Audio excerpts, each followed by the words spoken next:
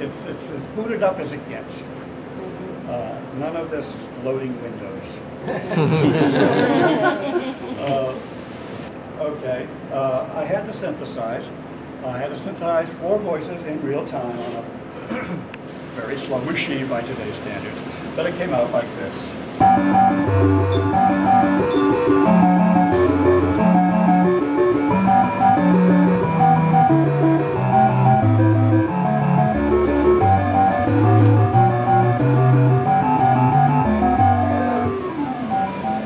Now, granted that I don't have any special music making hardware, what do I have?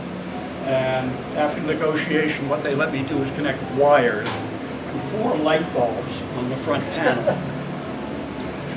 The thing has six program flags. Each of these can be separately turned on or off by a software instruction. So I took the first four and called them soprano, alto, tenor, and bass.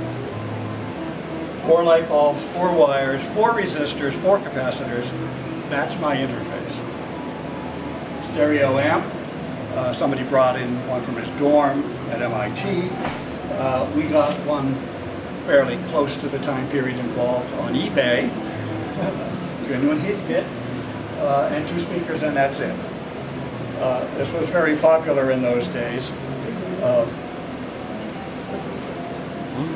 people coded up all their favorite pieces of classical works like this, popular songs, even Christmas carols, which you would sing along to.